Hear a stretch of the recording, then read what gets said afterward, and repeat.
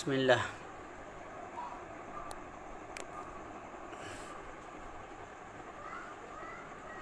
Kita إن شاء الله.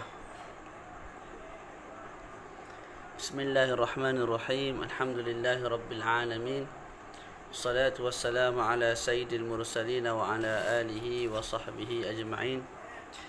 نوينا التعلم والتعليم والتذكر والتذكير والنفع والانتفاع الإفادة والاستفادة والحث على التمسك بكتاب الله وسنة رسوله صلى الله عليه وآله وسلم والدلالة على الهدى ابتغاء مرضاته وثوابه وقربه سبحانه وتعالى. السلام عليكم ورحمة الله تعالى وبركاته. Jadi insyaAllah pada malam ini Kita menyambung kembali Muzakarah kitab Al-Yaqutun Nafis Kita dah sampai pada perbahasan Syurutu Al-Khutbatain Syarat sah dua khutbah syarat sah dua khutbah.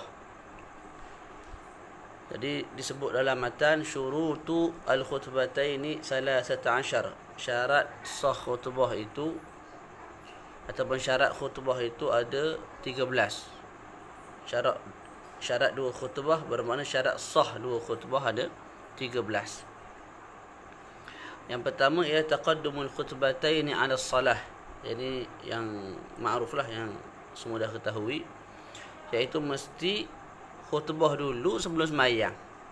Ha, mesti khutbah dulu sebelum sah solat.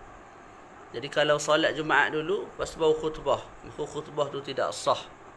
Bila khutbah tidak sah, sembahyang juga tidak sah. Jadi mesti khutbah dulu kemudian barulah solat ju Jumaat. Boleh? Ha, dia berbeza dengan solat hari raya. Solat hari raya kita raya-raya dulu. Kita sembahyang dulu, barulah kita khutbah. Tak, okey. Yang kedua az-zukurah. Lelaki. Maknanya apa? Khatib tu mesti lelaki. Ha, maka tidak sah khutbah kalau khatib tu perempuan. Ataupun khunsa. Khunsa yang macam mana? Khunsa muskil. Khunsa yang ada dua alat kemaluan, alat kemaluan lelaki, alat kemaluan perempuan dan dua-dua alat kemaluan tu berfungsi dengan baik. Jadi kita pun muskil lah kawan ni lelaki ke perempuan. Dia berkhutbah. Khunsa begitu berkhutbah juga tidak sah khutbah. Yang ketiga wassama' dengar. Ha, siapa yang kena dengar ni? Dan apa yang kena dengar? Ha, wassama' maknanya dengar. Dengar apa? Dengar rukun-rukun khutbah.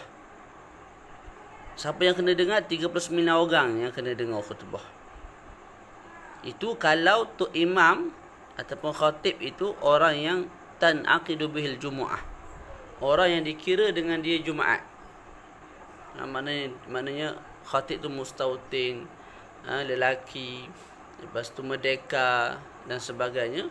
Jadi imam tu syakhsun yang aqidu bil jumu'ah seorang yang dikira jumaat dengan dia maka ketika itu uh, as-sama disyaratkan dengan khutbah syarat dengar tu hanya kepada 39 orang sahaja sebab apa tu imam tu campur tu imam jadi 40 lah ha uh, malah dalam kitab yang lain sebut kalau tu imam tu bisu uh, tu, tu imam tu bekak jadi dia tak berapa nak dengar khutbah dia tak berapa nak dengar rukun khutbah.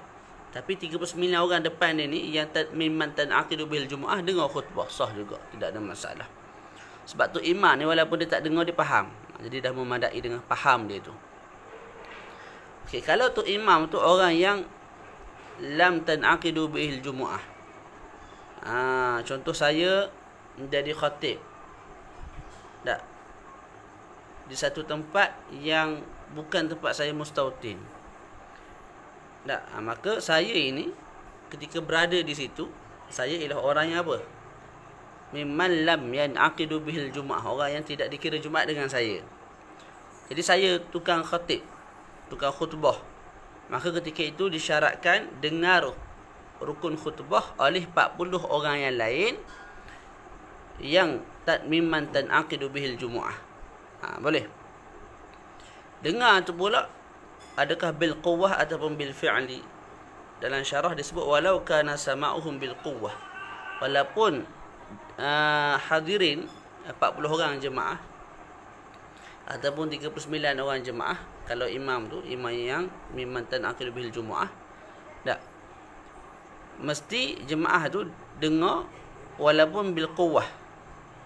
Ha, bil quwwah ni maksud dia apa? Bil quwwah kat sini maksud dia kalau perkara yang menghalang daripada dengar tu tak ada maka hadirin ataupun jemaah boleh dengar khutbah. Contohlah masa tu imam berkhutbah tu masa dia baca rukun-rukun khutbah masa tu tengah hujan lebat ataupun ada bunyi bising kat luar ha, mungkin masjid dekat Kilang ke ataupun budak-budak motor main motor main press motor kat luar jadi bila khutbah tu disampaikan rukun khutbah disampaikan tak Jemaah tak dengar rukun khutbah tersebut. Tak dengar tu pasal apa? Sebab hujan kuat bunyi hujan, sebab budak bunyi-bunyi apa tu? Uh, bunyi suara motor dan sebagainya. Oleh sebab itu tak dengar lah. Tapi kalau benda tu tak ada dan jemaah ni fokus mendengar, mereka dengar tak khutbah? Dengar. Ha, tak. Sekadar itu dah memadai. Jadi walaupun tak dengar betul tapi kalau bunyi bising tu tak ada para jemaah boleh mendengar khutbah dengan baik para jemaah yang 40 orang tu lah boleh mendengar khutbah. Maknanya maknanya ruku khutbah dengan baik maka dah memah dai faham tak ha tu. Jadi ya, syarat yang ketiga mesti dengar. Siapa yang dengar? 39 jemaah ha, kalau tu imam tu memang tan aqidu bihil jumaah ataupun ataupun 40 orang jemaah yang memang tan aqidu bihim jumaah kalau tu imam itu ialah tu imam yang mimman lam yang aqidu bihi al jumuah faham tu ha tu jadi mesti dengar tak memadai sekadar hadir ha, mari masjid tak tapi pekak belaka 40 orang mari tu pekak belaka tak dengar khutbah Ataupun tidur, tidur. Mari khutbah tidur. 40 orang mari tu pakat tidur belaka. Ataupun duduk jauh. Masjid besar, 40 orang tu duduk ujung. Tok imam pun, tok imam tua. Tak. Jadi tok imam tua angkat suara pun macam tak angkat. Jadi jemaah tak dengar, maka tidak sah khutbah. Sebab apa? Tidak ada sama' sama' ni ialah mendengar rukun khutbah bagi pihak jemaah. Faham tu? wa uh, wa syarat yang keempat wa wuqu'uhuma fi khittati abniyatin mesti didirikan terlaksananya dua khutbah tu khutbah pertama dan khutbah kedua fi khittati abniyah di dalam kawasan bangunan-bangunan ha? uh, yang kita terang sebelum ni lah ha? Jumaat mesti dilaksanakan di dalam penempatan tak, ha, khutbah pun sama mesti dilaksanakan di penempatan. Jadi contoh ni uh, apa nama banyak penempatan eh? kat tengah tu ada masjid. Ha, buat kat situ tu okey, sah. Khutbah sah Jumaat pun sah. Tapi kalau dibuat di padang pasir khutbah. Ada uh, keliling tempat didirikan Jumaat di padang pasir itu tidak ada sebarang binaan. Tak, maka tidak sah khutbah. Jumaat pun tidak sah. Faham tu? Ha, tu. Okey. Yang kelima, at-taharah anil hadathain. Mesti suci lah. Siapa yang kena suci ni tak khatib. Tak khatib mesti suci. Ibtidak, ibtidaan wa dawaman. Maknanya, pada permulaan khutbah mesti suci daripada hadas kecil, hadas besar. Begitu juga uh, dawaman dawaman ni makna tengah khutbah kena, kena suci juga sampailah habis khutbah itu maksud dia dawaman jadi at-taharah anil hadatsain kena suci daripada apa? Dua hadas. Hadas kecil ada apa? Besar. Siapa dia? Khatib. Kalau jemaah pakai hadas besar belaka tak ada masalah. Atau hadas kecil belaka tidak ada masalah. Sah. Khutbah. Yang penting tok khatib tu tak. Ha, dia tu suci daripada hadas kecil hadas besar. Jadi kalau uh, Zaid contoh berhadas kecil kemudian khutbah tidak sah khutbah ataupun dia khutbah dalam keadaan bersuci. Tengah-tengah khutbah terkentut. Maka batal khutbah dia. Batal khutbah dia. Faham tak lepas tu kalau dah batal nak buat apa? Ha, kena pergi ambil uduk lepas tu naik atas mimbar semula start daripada awal balik. Start daripada awal balik. Tak boleh dia bina di atas apa yang telah dilaksanakan. Contoh dia dan uh, sampaikan dua rukun khutbah lepas tu terkentut. Jadi dia ambil uduk lepas tu dia sambung lagi khutbah rukun khutbah yang lain tak boleh. Mesti start daripada ah ha, mesti mesti mulakan daripada awal balik. Ha, cuma macam saya sebut sebelum ni lah. Ha, bila dah terkentut contohlah kita khutbah dah hampir 15 minit. Terkentut. Bila naik tu kita pergi ambil semayang. Contoh tak ada orang ganti lah kita ambil semayang kita khutbah semula. Jangan start pada awal balik. Kita baca rukun je. Alhamdulillah wassalatu wassalam Ma'ala Rasulillah. Lepas tu baca ayat Quran sikit. Rukun-rukun Lepas tu duduk. Lepas tu baca, baca khutbah kedua Rekan-rekan Lepas tu Aqimus salah. Ha, Jangan start pada awal balik. Start daripada awal balik lagi lah Makmum ni Faham tak? Ah, tu dia Okey. Dalam uh, Mu'nisul Jalis, Maulana Syekh Mustafa hafizahullah taala wa nafa'na bihi fi darain amin, dia ada sebut Amma law ahdatha baina al-khutbatain aw ba'dahuma wa qabla as-salah fayunzar. Kalau seseorang itu iaitu khatib seseorang itu siapa dia? Siapa dia? Maksud dia khatib lah. Khatib berhadas antara dua khutbah. Habis satu khutbah dia duduk. Lepas tu dia kentut. Ha, lagu mana gamak? Gua nak cerita dia. Apakah kisah dia? Ha? Ataupun selepas daripada khutbah. Habis khutbah, dua-dua khutbah tu. Sebelum semayang. Terkentut. Maka, fayung zar. Ha, kita tengok. Hukum hakam ni, perincian dia. In tatahara wa'ada an qurbi sahatil khutbah. Wajazalahu bina'ul khutbah. Al-thaniyah. Al-ula wa bina'u as-salah ala al-khutbatain. Jadi kalau dia habis khutbah pertama lepas tu kentut. Lepas tu dia ambil wuduk.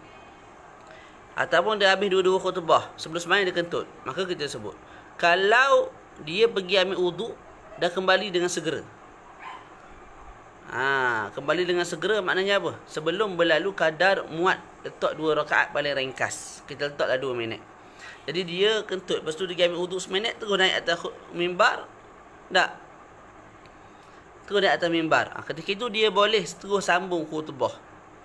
Jadi khutbah pertama selesai Terus masuk khutbah kedua. Tak perlu ulang daripada khutbah pertama balik. Ha? Dia habis dah dua khutbah. Dia kentut. Dia ambil air semayang Dengan kadar segera. Seminit Lepas tu dia kembali semula.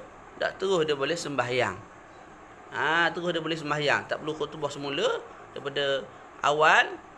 Lepas tu baru sembahyang. Tak, dia terus boleh sembahyang. Itu kalau apa? In tatahara wa ada an qurbin. Wa in ada ba'da tulil fasli. Kalau dia kembali selepas uh, lamanya pemisah. Ha, tak? Batalat al-khutbah wa wajaba i'adatuha. Boleh? Jadi Zaid ni kentut. Selepas khutbah pertama, kita tandah sikit perut pula dah dah 5 minit. Lepas tu balik semula. Kena start pada awal lah khutbah. Dah, ataupun dah habis dua khutbah. Dia terkentut dia ambil semayang dah 5 minit. Kembali semula. Maka kena ulang balik khutbah. Ulang macam mana macam saya sebut tadi lah. Ulang rukun sahaja. Jangan ulang daripada awal balik. Dah. Ha, hanya ke makmum. Faham tau? Hmm. Okey. Syarat yang keenam. At-tahar wa taharatu anin najasah. Kena suci daripada najis. Siapa yang kena suci? Al-khatibu. Khatib dah kena suci daripada najis. Ha, khatib kena suci daripada najis yang macam mana? Najis yang tidak dimaaf. Kena suci daripada tempat apa? Daripada badan dia kena suci daripada najis. Pakaian dia dan juga tempat. Tempat kat sini tempat yang dia pegang. Dan tempat yang dia pijak ha? dan tempat yang dia duduk ketika mana uh, mula-mula naik uh, atas mimbar dan juga antara dua khutbah tu. Ha, tu tempat tempat yang dia sentuh lah maknanya. Jadi jadinya khatib ni masih suci daripada najis yang tidak dimaaf ha, pada badan, pakaian dan tempat. Ibtidaan wa dawaman maknanya start daripada awal khutbah sampai habis khutbah lah. Boleh? Jadi tidak sah khutbah kalau si Zaid ni contohnya ada najis kat badan, start dia mula kat khutbah dalam keadaan kat badan ada najis, tak sah khutbah. Okey, kalau tengah-tengah khutbah mari najis, lagu mana cerita? Cerita dia sama macam cerita bab semayang dulu, hukum hakam dia. Apa sama macam bab semayang? Kalau najis tu dia ada dua perincian. Kalau najis tu najis yang apa nama? Kering. Tak, dan si Zaid ni hilangkan najis itu dengan segera tanpa pikul najis tersebut. Maka lam yadur. Contoh tengah khutbah ni, semangat khutbah ni, jatuh najis. Tak. Ha, najis yang kering. Dia pun tiup. Dengan segera. Ya? Dengan segera mana sebelum berlalu qadar subhanallah. Ha, kena ulang kaji lah. Tak ulang kaji tak ingat ilmu ni. Ya? Kena ulang kaji sama. Ha, daripada duduk saja baik ulang kaji. Tak. Hmm. Kalau yang dah kahwin ni. Tak. Sambil-sambil tunggu bini masuk ke ataupun bini cari barang kedai RM2 ke ha, ataupun kedai mall mana-mana dah kita baca kitab baca kat tab lah ha, baca kat handset ikut lah baca bawa kitab betul pun tak apa malu apa orang lain tak pakai tudung pakai tentu arah tu tak malu. Kita nak buat benda baik malu. Pasal apa? Tak. Ha, tu. Ha, tu. Boleh? Hmm. Sambil-sambil bawa kereta balik kerja, pergi kerja. Mudah je belajar ni. Kalau ada semangat, ada sungguhan. Ha, tapi kalau tak nak, ha, dia, dia tak nak se, dia buat alasan lah. Sibuk, letih, uh, susah.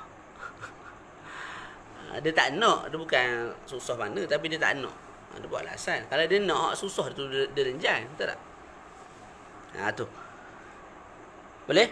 Jadi kalau najis tu kering, dia buang dengan segera dia tiup tiup tu maknanya dia tak pegang najis tu kemudian buang dia tak hamil dia tidak angkat najis tersebut maka lam yadur lam yadur maknanya apa dia boleh teruskan khutbah sampai habis dah semayang tapi kalau najis tu basah basah lekat kat baju lah tak macam dia nak tiup memang kena buka baju ataupun kena pergi basuh ha, maka ketika itu ha, kena start balik lah khutbah daripada awal Awak faham tak? Ha, kawan terang ni ataupun uh, najis tu kering.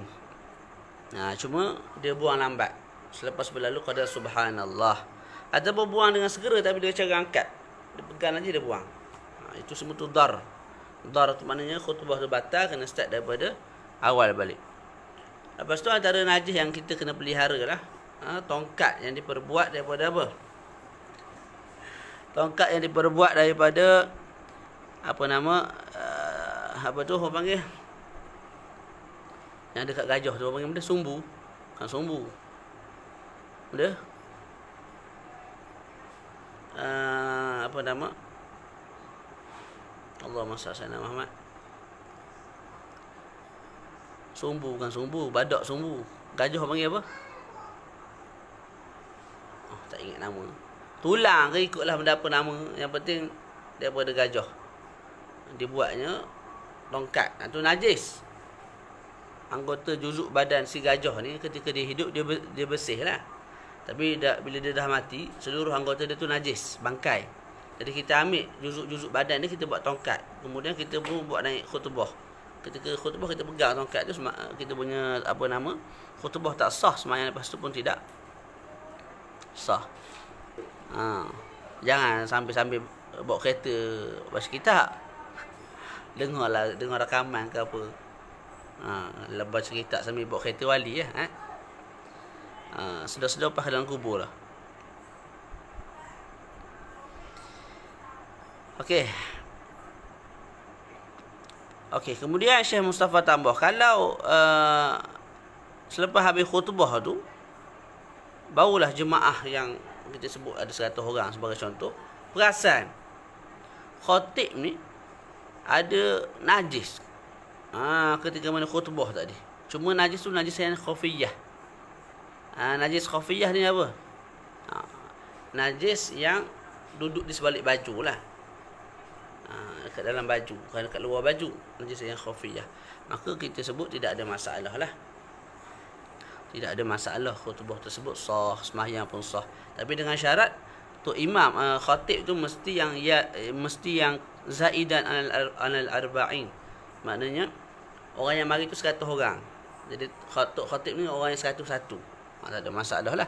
Tapi kalau yang mari tu 39, tok khatib orang yang ke-40.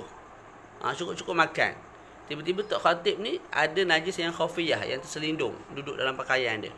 Selepas tu barulah jemaah tahu. Dia sebut khutbah tidak sah semayang tak sah. Hang gading tak ingat nama. Daya gading. Yang ketujuh satrul aurah, tutup aurat. Itu juga bagi khatib. Ha? Jadi tadi bagi khatib ha? Jadi kalau jemaah ada najis kat badan sah khutbah tu. Ha. Cumanya nak sembahyang tu kena bersihkanlah. Tutup aurat ni satrul aurah juga bagi khatib. Manakala jemaah telanjang bulat. Sah tak khutbah sah? Sah khutbah walaupun berdosa pada sudut yang lain lah. Bukan aurat depan orang. Tapi sudut sah khutbah sah. Wasatrul aurah tutup aurat bagi khatib ketika khutbah ibtidaan mana daripada awal khutbah kena tutup aurat dah semasa khutbah dan juga sampailah habis khutbah kena tutup ha? aurat. Itu pun kalau mampu untuk tutup aurat. Jadi syarat tutup aurat ni ialah ketika mana mampu untuk tutup aurat. Kalau terbuka aurat ketika mana sedang khutbah walaupun ketika mana baca sesuatu yang bukan rukun khutbah disebut batal khutbah tersebut. Walau khataba Uh, macam mana pula kalau orang tu berkhutbah dalam keadaan terbuka aurat? Sebab apa terbuka aurat tu? Ha, sebabnya tak mampu ataupun tak ada pakaian. Jadi bila tak kita sebut tadi syarat satrul aurah ni indal qudrah. Bila ada qudrah tak disyaratkan lah. Jadi kawan tu khutbah dalam keadaan tidak menutup aurat. Contoh peha dia nampak ke macam mana. Lepas habis khutbah tu ternyata rupa-rupanya pakaian dia ada. Tak jumpa cari. Tak. Ha, rupanya dia ada pakaian. Jadi tadi khutbah dalam keadaan tak tutup aurat dengan baik sebab dia sangka tak uh, tidak ada pakaian. Lepas habis khutbah baru dah perasan ada pakaian kita sebut khutbah tu sah. Sah. Ha? Tidak ada masalah. Syarat yang ke-8 al-qiyamu 'ala al-qadir. Ha, berdiri. Ha, siapa dia berdiri ni jelas lah. Untuk khatib. Tak ada pasal kita jemaah berdiri, pakai-pakai berdiri belakang dalam masjid ketika khutbah disampaikan. Jadi yang ke-8 ialah al-qiyam wal-qiyamu 'ala al-qadir. Mesti untuk khatib yang uh, apa nama kita panggil mampu mesti berdiri ketika menyampaikan khutbah, dua khutbah tu. Ha. Ketika menyampaikan rukun sahaja. Maknanya ketika selesai dah rukun, dia nak duduk boleh? Ha, jadi bila disyaratkan berdiri ni ketika sampaikan rukun. Dah habis rukun, tak. Dia nak duduk. Mana bagi uh, sampaikan baki khutbah dalam keadaan duduk. Boleh? Yang penting rukun dia berdiri. Okey, kalau orang tu bila kita sebut uh, syaratnya ialah al-qiyam al-qadir. Jadi kalau orang tu qadir mampu untuk berdiri tapi dia duduk. Ah, maka tidak sah khutbah. Wajib diulang balik ha? dalam keadaan wajib diulang balik rukun-rukun dalam keadaan dia berdiri. Okay, kalau orang tu tak mampu nak berdiri, nak buat lagu mana duduklah. Kalau tak mampu duduk, iftijak. Ha, maknanya khutbah dalam keadaan uh, apa tu mengereng ha, di atas lambung kanan. Kalau tak mampu atas lambung kiri. Kalau tak mampu juga itijak, maka khutbah dalam keadaan mustalqi. Terlentang. Ha, cumanya yang syomelnya bila dah tak mampu berdiri, tu suruh orang lain gantilah. Tak, tapi mungkin ada waktu-waktu tertentu yang mari tu untuk guru besar, orang alim besar, tak? Orang luar negara pula. Ha, mungkinlah kita bagi peluang pada dia, kita ambil berkat dia, dia khutbah walaupun dalam keadaan du, duduk. Ha, tu. Boleh? Yang seterusnya wal julus bainahuma biqadri tuma'ninatis salah kena duduk antara dua khutbah dengan qadar tumakninati salah iaitu dengan qadar subhanallah. Jadi kalau seseorang tu meninggalkan duduk lepas habis khutbah pertama dia tak duduk. Dia terus masuk khutbah kedua. Dia tak duduk. Walaupun dia tak duduk tu sebab dia terlupa. Tak, maka kita sebut seluruh khutbah yang kamu buat tu. Yang pertama, yang kedua, dia anggap sebagai satu khutbah sahaja. Lepas tu nak buat lagu mana? Lepas habis dua khutbah dalam sangkaan kamu tu, kamu kena duduk pula. Lepas tu kamu kena datangkan khutbah yang kedua. Mana datangkan rukun-rukun khutbah yang kedua. Okey.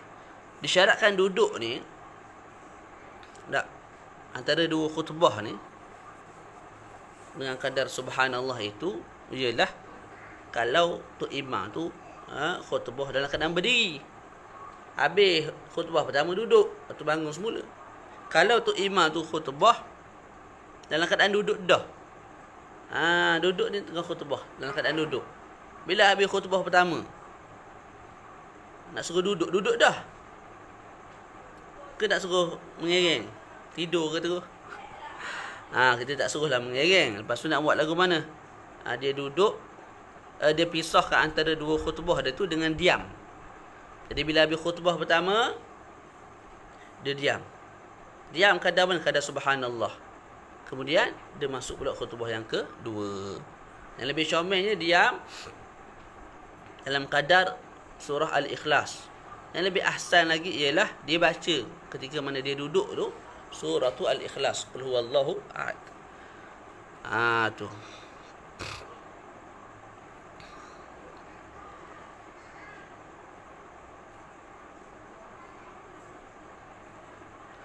Okay, wal ashir yang ke-10 al-muwalah.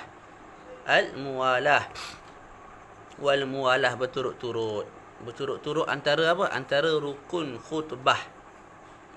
Jadi antara rukun dengan rukun kena berturut-turut tak boleh dipisahkan dengan pemisah yang panjang disebut dalam kitab al-muwalatu bainahuma jadi mudahnya kita sebut lagu ni al-muwalah ni berturut-turut ni diwajibkan pada beberapa tempat lah.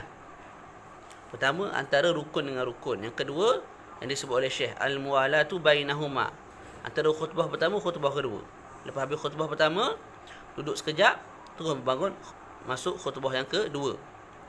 Lepas tu abainas salah mana antara khutbah kedua mana habis sembahyang habis-habis khutbah ni. Dan sembahyang boleh jadi tiga tempat antara uh, antara rukun dengan rukun. Yang kedua antara khutbah pertama dengan khutbah kedua. Yang ketiga antara khutbah kedua dengan sembahyang. Itu kena mualah. Apa makna mualah berturut-turut? Apa makna apa dhabit mualah? Ha, tidak berlaku pemisah antara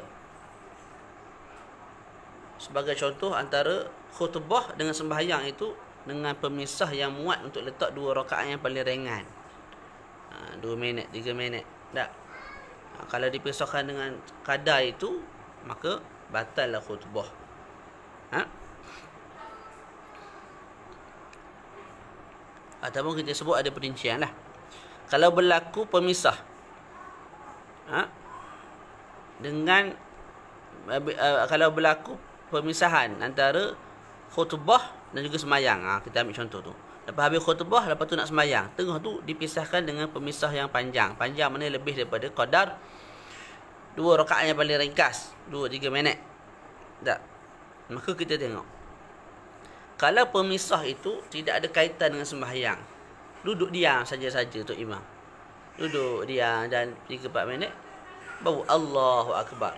Ha, ketika itu batal lah. Ha, mualah tu dah tidak wujud kebatal khutbah. Kena khutbah balik baru semayang balik.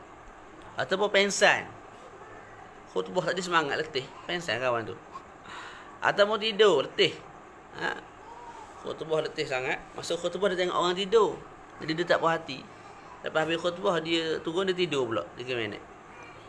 Tak ketika itu qata'al mualah mualah tu telah terputus dia nak sembahyang dah tak boleh. Lepas tu nak buat lagu mana kena khutbah balik, baca rukun lepas tu barulah sembahyang se semula. Tu barulah sembahyang Jumaat. Okey, kalau pemisah itu ada ta'alluq, ada hubungan dengan maslahat sembahyang. Ha, contohnya dalam kitab ni tulis contoh seperti takhallulil wa'dhi ha uh, apa tu antara rukun dengan rukun tu diselangi oleh al-wa'dh wa'dh ni nasihat tak ha itu tidak ada masalah. Jadi alhamdulillah selesai satu rukun. Lepas tu nasihat panjang. Lepas tu wassalatu wassalamu ala maulana rasulillah. Lepas tu panjang pula nasihat tak ada masalah. Jadi antara rukun dengan rukun dipisahkan dengan nasihat tidak ada masalah lah. Walaupun nasihat tu tall jiddan panjang sangat. Allah alam lah kalau dipisahkan dengan apa tu perkara yang ada kaitan dengan masalah semayang eh. jadi tu imam habis khutbah dia turun. Sebelum dia semayang tu dia lur, dia suruh makmum luruskan saf rapatkan saf. Ha? Uh, mungkin kawasan tu tak apa nak faham. Jadi uh, mungkin akan pakai masa lah 3-4 minit. Itu insyaAllah tidak ada masalah lah. Sebab apa? Dia ada kaitan dengan masalah tu salah Allah Alam. Yang ke sebelas kaunuhuma kaunuhuma ay kaunul khutbatain ataupun kaunu arkanil khutbatain keadaan dua khutbah. Ha, ni masalah al-istikhlaf ni. Ha, ni kena baca sendiri dah ni. Masalah al-istikhlaf Syekh Mustafa pun ada sebut dalam kitab ni. Kita tak baca lah panjang. Ha? kalau khatib tiba-tiba batal wuduk masa berkhutbah itu boleh baca sendiri ada dalam surat apa surat selepas-lepas tu lah selepas, selepas sunan Jumaat. Dari istikhlaf dalam sembahyang istikhlaf ketika khutbah. Istikhlaf ni maknanya tengah-tengah khutbah batal. Adakah orang lain boleh ganti? Orang ganti tu pula adakah boleh terus sambung ataupun start berdawal balik? Ha? ataupun tengah-tengah sembahyang batal. Ha, tu. Yang tu kena tengok dalam perbahasan yang ditulis oleh Syekh Mustafa masalah tu al-istikhlaf kena baca lah tu. Ha, benda yang kita tinggal tu masing-masing kena baca. Ha? sebelum ni ada dah benda tinggal apa dia? Ha, muafiq masbuk. Ha, itu baca lah bagus lah Syekh Mustafa tulis dalam kitab. Ha, saya tak baca lah jadi panjang sangat nanti. Ni pun dah 30 siri dah ni. Ha, ha, saya tak nak lah terlalu lama nak khatamkan kitab ni. 30 60 ha, itu target yang 70 khatam lah insyaAllah eh. boleh insyaAllah eh. hmm. perbahasan yang tak ada dalam matan kita tak baca lah kita fokus pada matan Okey, terus. Yang ke-11 kaunuhuma bil arabiyah rukun khutbah tu mesti dalam bahasa Arab. Sekalipun jemaah tak faham. Ataupun tok khatib pun tak faham.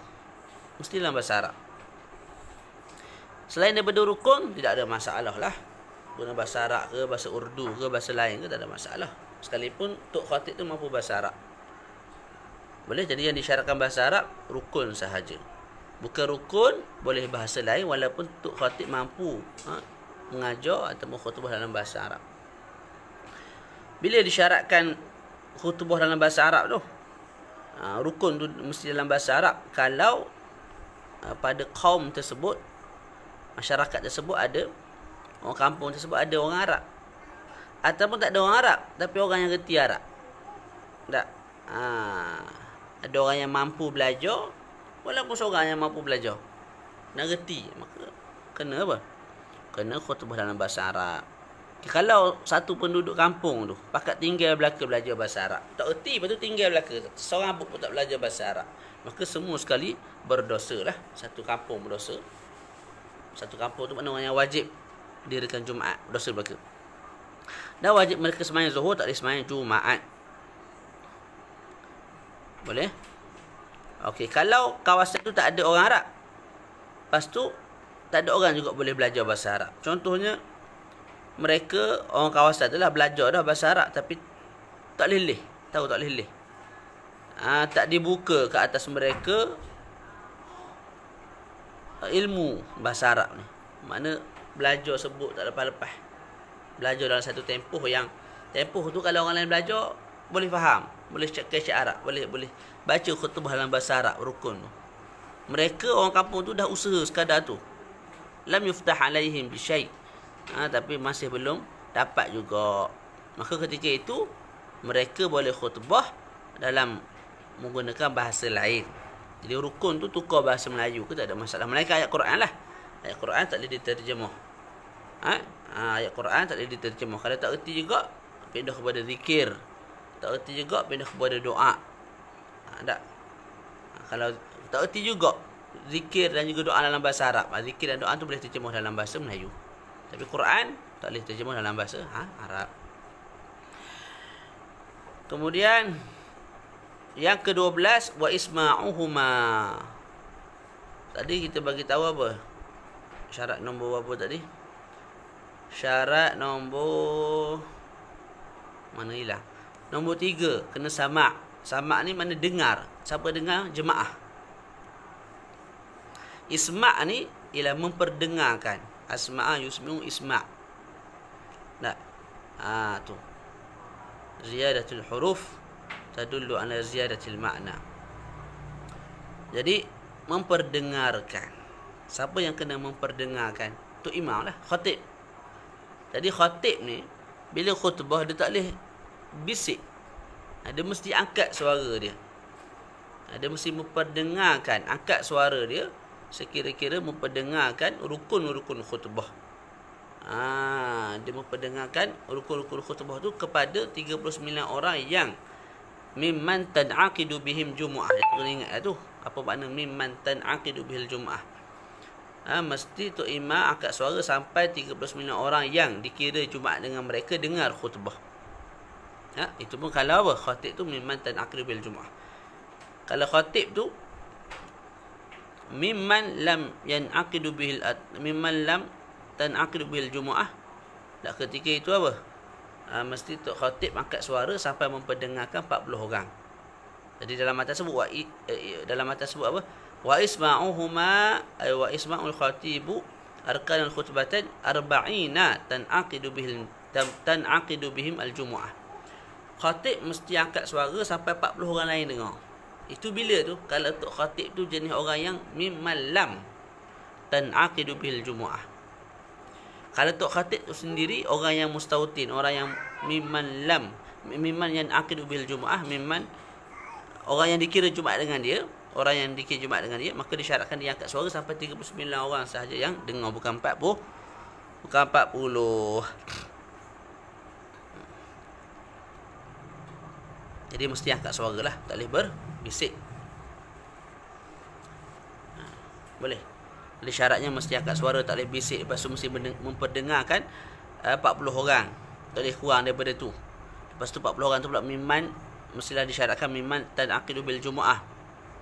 Boleh? Kalau uh, jemaah tu kurang daripada 40. Contoh jemaah ada 40. Ha? Jadi tok khatib pun khutbah. Ketika khutbah. Dah habis satu rukun tiga orang keluar. Pergi ambil semayang sebagai contoh. Jadi khatib baca khutbah eh, baca rukun kedua ketiga dalam keadaan tidak didengari oleh tiga orang yang keluar daripada surau tersebut daripada masjid tersebut. Maka rukun yang dibaca ketika mana tidak didengar oleh 40 orang di depan sebab tiga orang dah keluar tadi. Tak? Ha, rukun itu tidak dikira. Kena kena ulang balik bila tiga orang tu masuk kena ulang balik rukun tu Ha, itu pun tengoklah kalau mereka masuk dengan segera. Mana keluar sekejap masuk terus. Tanpa dipisahkan dengan tulul faslin. Tak maka wajib tu imam ulang balik rukun yang makmum tadi tak dengar. Tapi kalau masuk selepas uh, eh, 10 minit sebagai contoh, maka wajib tu imam ataupun tok khatib ulang balik khutbah daripada ah, awal. Faham tu? Okey. Jadi yang disyaratkan dengar tu apa? Khutbah sahaja. Selain daripada khutbah, tidak disyaratkan dia dengar memperdengarkan. Tidak disyaratkan isma' jadi yang disyaratkan isma' ialah rukun. Ada pun bukan rukun tidak disyaratkan al isma' jadi kalau selain daripada rukun didatangkan dalam keadaan sir.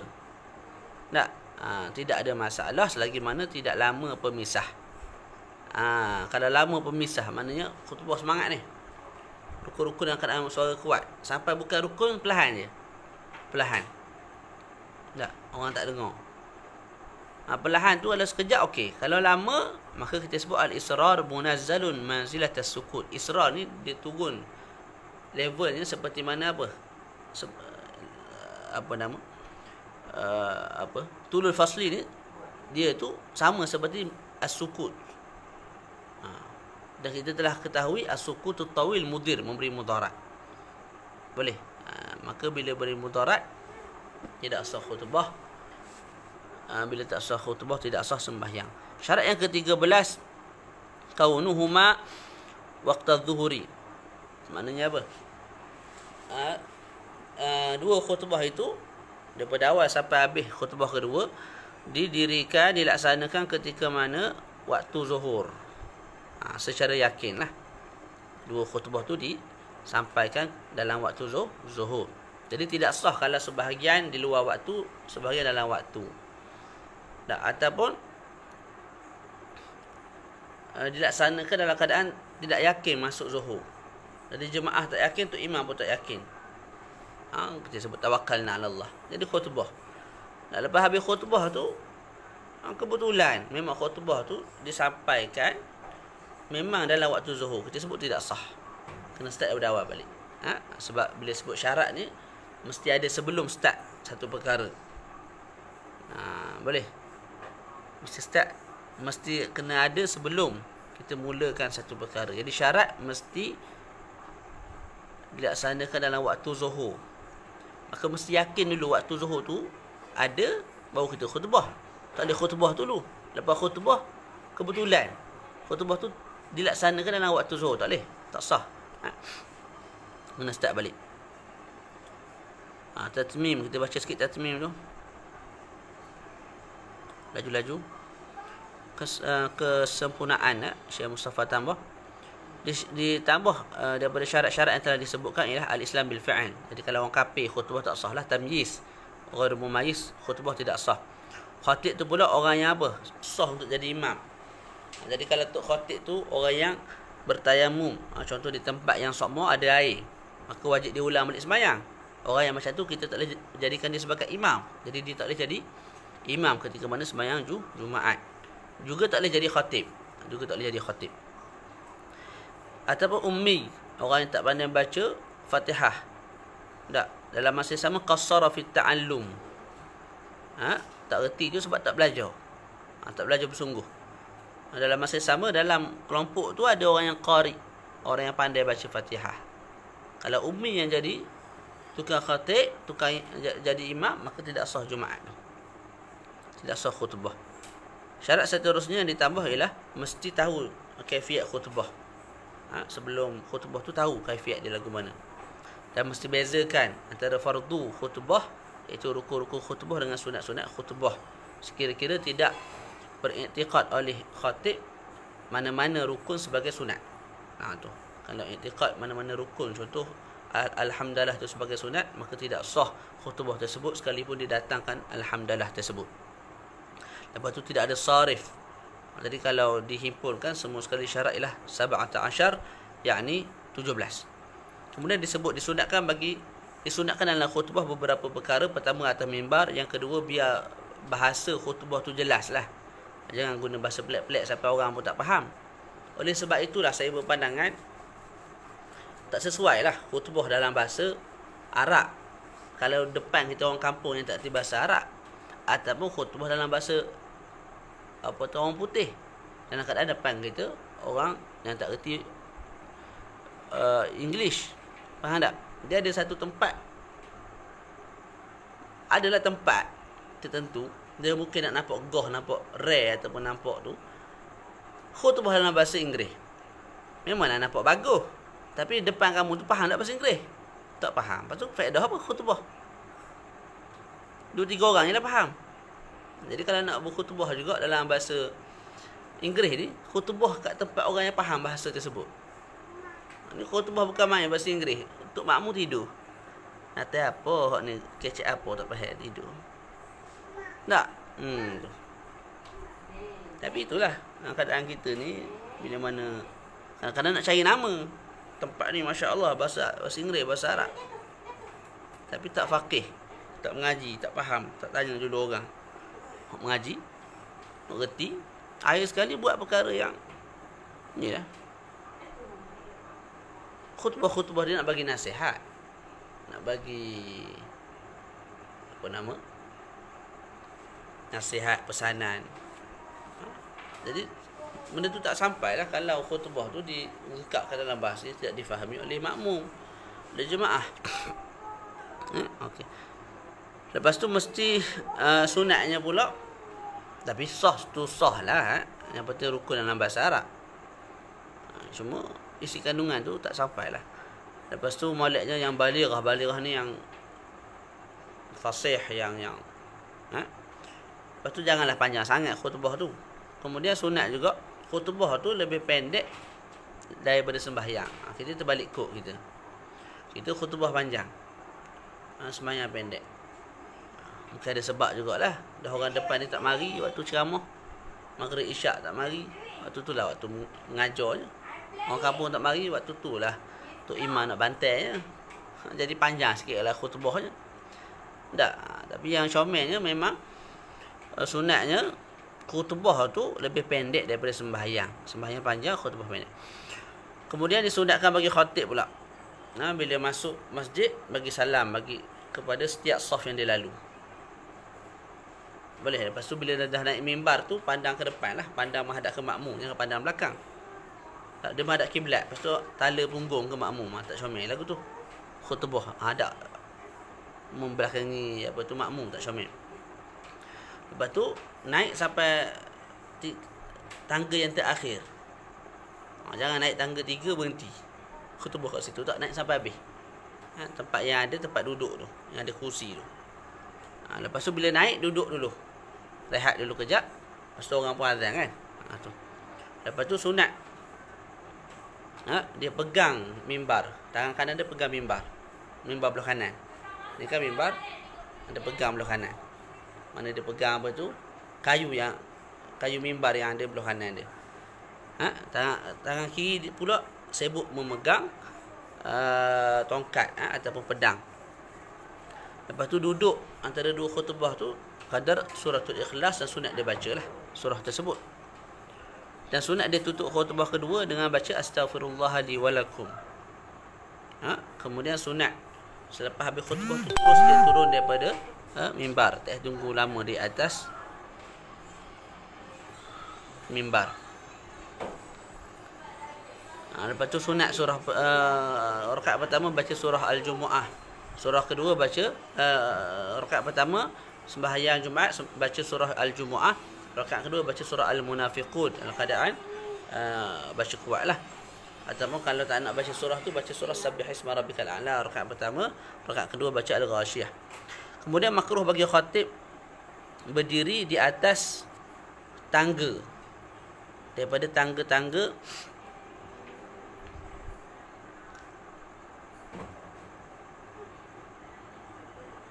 ataupun yakif ni mana berhenti. Kan contoh ada lima tangga, anak tangga tak sebelum sampai ke uh, tempat paling tinggi. Dia naik dia berhenti, dia naik dia berhenti. Ha? Makruh. Eloknya naik tu terus naik sampailah uh, ke uh, tempat duduk tu. Ha, lepas tu makruh juga dia hentak kaki ketika naik anak tangga. Makruh dia naik dengan laju turun dengan laju. Ha? Lepas tu makruh khutbah dengan laju sangat sampai orang pun tak faham. Minum tanpa hajat. Tak tak tak dahaga minum air. Ha, tak makruh. Lepas tu pejam mata. Makruh. Melainkan kalau kena dengan part dia. Tengah-tengah khutbah tu ada part dia kena pejam mata barulah penyampaian dia tu nampak bagus. Ha tu.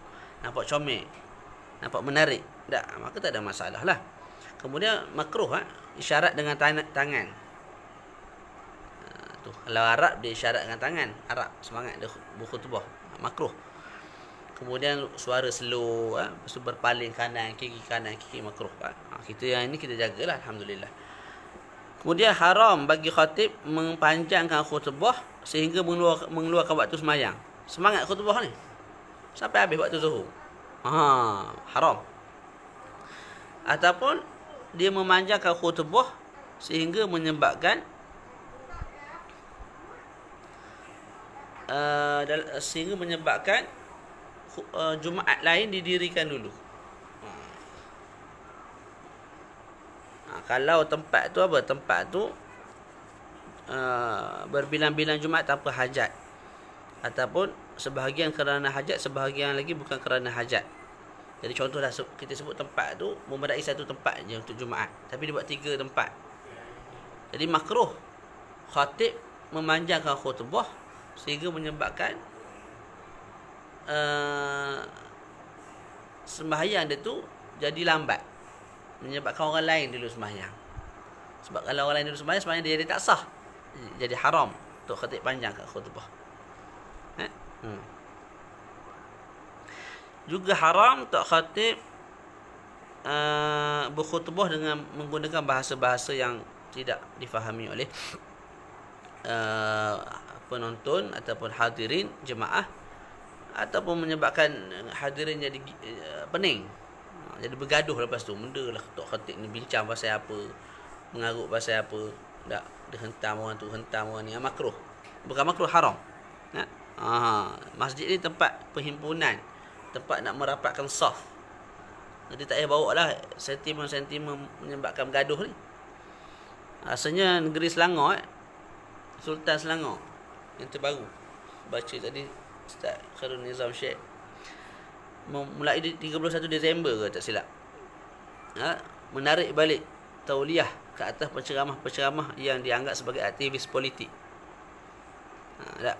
Nak ceramah politik Dekat atas mimbar politik Nak ceramah agama Jangan bawa ke, ke masjid ha, tak? Kecuali kalau politik dengan makna siasah syara'iyah yang umum. Kita kena pilih pemimpin yang adil. Okey, tak ada masalah.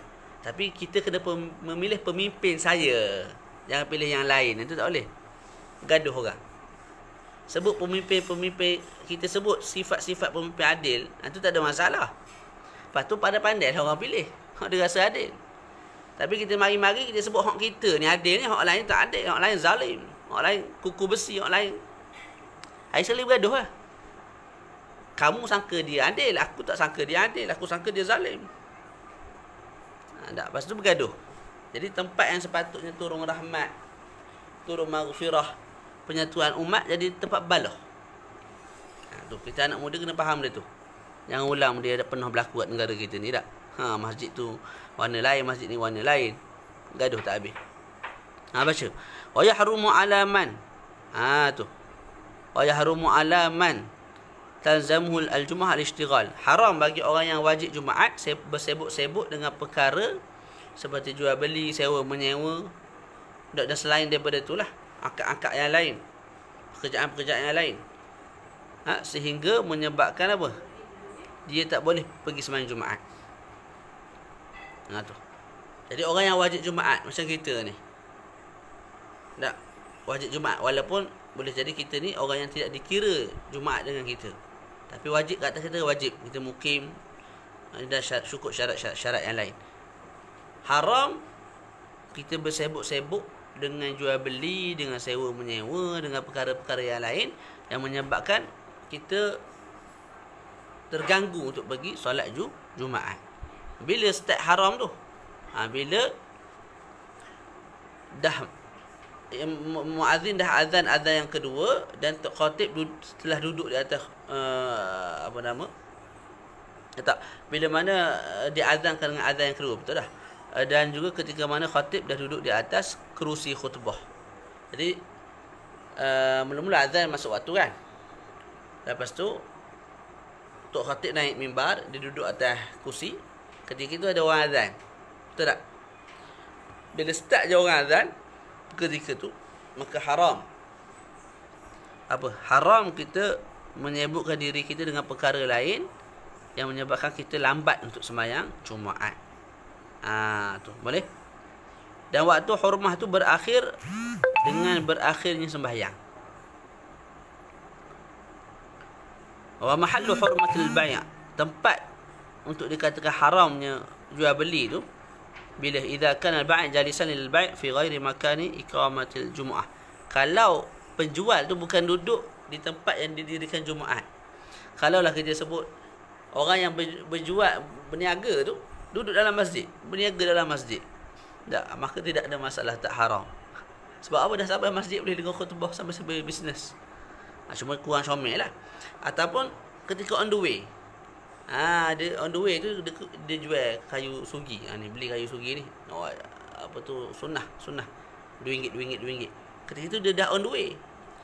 Untuk ke masjid ha, juga tidak ada masalah. Yang tak boleh kalau jual beli dilaksanakan di tempat yang bukan didirikan Jumaat. Ha, di tempat lain. Di bandar ke mana. Tak. Itu tak boleh. Di rumah, di kedai. Ha, tapi kalau di dalam masjid sendiri, ataupun tepi masjid tu betul. Tak. Ataupun bisnes tu ketika on the way nak pergi masjid, itu tak ada masalah. Faham betul? Jadi waktu haram, kita sebut tadi, bermula bila mana azan kedua dilaungkan dan ketika mana imam dah duduk di atas kerusi di atas mimbar tu lah. Berakhir waktu haram bila seles- bila selesainya sembahyang.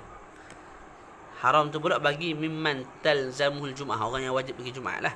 Mak ayah orang yang tak wajib pergi jumaat contoh perempuan nak bisnes sama dia ketika azan pertama ke azan kedua ketika orang tengah sembahyang jumaat ikut mu lah tak ada masalah. Dia tak wajib sembahyang jumaat. Kemudian dikecualikan daripada pengharaman tersebut beberapa gambaran. Pertama, beli air untuk buat bersuci. Jadi kita nak sembahyang Jumaat, air tak ada. Kita nak beli air. Masa kita beli air tu azan kedua sedang dikumandangkan ataupun khutbah sedang di di di di, di apa? Di, di disampaikan. Tak ada masalah untuk kita beli air jual beli ketika tu. Ataupun beli pakaian ketika tu untuk tutup aurat boleh tak ada masalah. Ataupun beli ubat. Tempat kedua lah uh, uh, untuk beli ubat uh, kerana ada orang sakit atau membeli makanan kerana ada anak kecil. Tak itu tidak haram belaka tu, boleh belaka. Ha? Ha tu yang penting uh, kita sempat lagi untuk solat Jum Jumaat. Begitu juga kalau bagi sewa kereta dan sebagainya yang mana tujuannya untuk bawa kereta tu untuk pergi sembahyang Jumaat juga tidak diharamkanlah. Sunanul Jumaah Sunat-sunat Jumaat Pertama kita sebut segala sunat yang dituntut dalam sembahyang dituntut kat sini juga. Dan ditambah bagi solat Jumaat ni ataupun hari Jumaat secara umumnya sunat-sunat yang lain. Yang pertama ialah fasunanul Jumaati kathiratun minha al-ghuslu mandi. Mandi ha, bagi orang yang nak pergi sembahyang Jumaat sekalipun tak wajib dia sembahyang Jumaat. Contoh perempuan dia nak pergi sembahyang Jumaat, maka sunat dia mandi juga. Orang yang tak nak pergi sembahyang Jumaat tak Maka apa? tak sunat dia mah mandi. Bila masuk waktu mandi Jumaat ni dengan terbitnya fajar sadiq iaitu dengan masuknya subuh dan keluar buat sunat mandi hari Jumaat ialah dengan kecewanya untuk kita kerjakan solat Jumaat iaitu dengan cara imam angkat kepala daripada rukuk yang ke rukuk rakaat ke dua. Ketika itu kita dah kecewa dah nak sembahyang Jumaat. Ha, sakut kejap. Ha? Okey, boleh? Ha, terus baca. Kalau tak mampu nak mandi Contoh sakit Tak boleh kena air Kita tayamum lah Wa, tabkir. Ha, Tabkir ni mana datang segera. Ke tempat Jumaat Mana ke masjid lah. Di tempat kita Semayang di masjid. Li ghairil imam Melainkan imam. Ha, Imam Khatib Sunat mari lambat sikit. Ha, Sunat dia mari lambat Dekat-dekat ada khutbah tu dia sampai Sampai tu terus masuk masjid Naik mimbar terus Tak Ha, tu. Tapi orang kita datang awal. Ha, Kurang comel lah. Ha, tapi pada satu sudut, ya juga. Kan mari lambat kan. Silap air bulan tak sampai-sampai tu. Tidur kat rumah. Ha, tapi kalau boleh datang lambat dalam keadaan syak masa tu tak menyusahkan orang lain itulah yang lebih afdal kita mari ketika mana uh, betul-betul nak khutbah uh, wa minha uh, watan tanzif. Uh, bersihkan badan lah. Uh, buang kotoran yang ada kat badan bau busuk uh, potong bulu kemaluan uh, gunting uh, misai cabut uh, bulu ketiak. Kalau mampu kalau tak mampu cukup lah bulu ketiak tu. Tak. Uh, lepas tu potong kuku. Walu bersusia bil bild uh, jangan baca baik uh, baca uh, baca bild uh, baca uh, pakai uh, pakai yang putih. Uh, kalau boleh yang baru lah Kalau tak boleh yang baru, puas juga nak beli setiap Jumaat baru dah. Ha, maka pakai baju putih yang warna putih, yang yang yang dibasuh. Ha, kemudian sunat pakai serban hari Jumaat ni. Ha, kalau tak ada serban, cover dengan perkara lain yang menutup kepala seperti kopiah yang kita pakai ni lah. Boleh? Ha, sunat pula kalau kita pakai serban, kita buat ekor sikit. Ekor tu pula panjang mana? Ha, sekurang-kurangnya empat jari. Panjang ni. Ha? Ha. Paling panjang pun satu zirak. Iaitu satu hasta. Jangan panjang sangat. Kemudian at-tatayyub wa tatayyub berwangi-wangian. Itu pun kalau kita bukan sedang ihram haji umrah. Ha, ataupun kita kita bukan ihram haji umrah, kita bukan orang yang sedang berpuasa, ha, kita juga bukan orang perempuan. Tak, walaupun perempuan tu tua. Ha, ketika itu sunatlah kita tatayub. Ha, kalau kita ni ihram haji ataupun umrah ataupun saim ataupun orang perempuan maka tidak disunatkan kita berwangi-wangian. Seterusnya wal masyu. Ha, jalan kaki ketika pergi. Ha, kalau kita mampu jalan kaki kita pun jalan kaki ketika pergi sembahyang Jumaat. Al masyu bisakinatin mana dengan tenang steady ha, tak kalut. Ha? Ha. lepas tu ketika berjalan tu jangan buat perkara yang sia-sia. Untuk kau hidung lepas tu tengok kuku ada tai apa tu kotor-kotor kena buang gigit pula kuku. Ha jaga mata. Ya. Ha jaga suara. Jangan pandang kanan kiri kanan kiri ketika mari ke masjid tu tak perlulah. Lepas tu nak balik terpulanglah. Nak naik kenderaan pun boleh nak pulang berjalan kaki pun boleh. Kemudian wal qiraatu aw zikru perbanyakkan baca Quran perbanyakkan zikir. Juga selawat ke atas Nabi sallallahu alaihi wasallam. Fi tariq atau fil masjid ketika mana uh, di, uh, dalam perjalanan ke masjid banyak baca Quran, zikir ataupun selawat. Dan juga dalam masjid. Yang lebih baiknya, yang lebih syomelnya daripada tiga perkara ni, kita selawat lah. Ha, sebab selawat tu syiarul yaum. Juga sunat baca surah Al-Kahfi malam Jumaat dan juga pagi Jumaat. Ataupun pagi Jumaat. Kemudian sunat juga kita insat fil khutbah, diam. Ketika mana khutbah. Diam ketika mana khutbah maka makruh bercakap-cakap tanpa ha, hajat. Makruh bercakap-cakap tanpa ha, hajat. Kalau kerana hajat tidak makruh. Ha, kemudian dikecualikan daripada sunat diam empat perkara. Tiga pertama tiga yang pertama wajib yang keempat tu sunat. Tak, ada kala wajib kita bercakap-cakap yang pertama apa? Kita nak tambih orang yang uh, contoh orang depan kita buta dia jalan depan tu ada gaung ke apa jadi kita wajib bercakap. Hoi gaung depan tu. Tak. Jadi dia pun berhenti lah kalau kita diam bahkan gaung mati gaung tu. Ketika itu wajib kita ber, bercakap. Yang kedua kita nak mengajak orang lain kebaikan yang segera. Ha? boleh tak? Maknanya kalau kita tak ada yang ajar ni Terlepas dah kawan tu akan kebaikan yang kita nak ajar ni. Maka kita boleh ajar ketika tu. Ha? Asalis eh, contohnya hukum apa? Hukum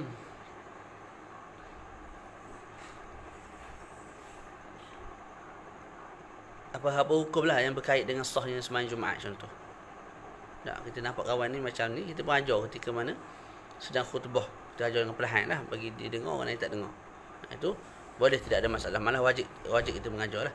Yang ketiga, radus salam. jawab salam ha? wajib. Sekalipun memulakan salam ketika mana khutbah makruh. Jadi orang sedang khutbah kita nak assalamualaikum ke orang makruh. Tapi bila kita diberi salam oleh orang lain tak wajib kita jawab. Ha? yang keempat hukumnya sunat. Apa dia? Tashmitul atish ha? atish maknanya kalau orang bersin dan dia sebut uh, subah, uh, alhamdulillah maka sunat. Kita yang dengar ni kita sebut ya rahmukallah. Walaupun sedang khutbah disampaikan oleh tok khatib. Ha? ha gitu. Itu pun kalau dia tak bersin lebih dari tiga kali lah. Ha, mana kali pertama, kedua, ketiga. Dia Alhamdulillah, Alhamdulillah, Alhamdulillah. Kita jawab, Ya Rahmukallah, Ya Rahmukallah, Ya Rahmukallah. Kali keempat, kita tidak disunatkan dah untuk sebut Ya Rahmukallah kepada dia. Jadi tiga yang pertama yang saya sebut itu wajib. Perkara yang keempat hukumnya, mandu. Wallahu a'lam bisawab. Selepas tu disebut hukum hakam al-istikhlaf. Ha, fil khutbah. Kemudian al-istikhlaf fil salah itu ada uh, sahabat kita tanya maka itu boleh masing-masing baca insyaallah sebarang masalah tak faham boleh tanya saya balik lepas ni terus kita masuk perbahasan Lepas tu ada lagi perbahasan mengenai salatul khauf. Ha, lepas tu apa nama? Hukum qada'i salah, hukum qada' sembahyang. Ha, lepas tu uh, disebut sikit hukum tentang pakaian. Ha, lepas tu barulah dimulakan dengan ma yajibu lil mayit. Untuk kelas akan datang terus kita masuk ma yajibu lil mayit. Sebab itu yang ada dalam matan al-yaqut al-yaqutin nafis. Faham tu?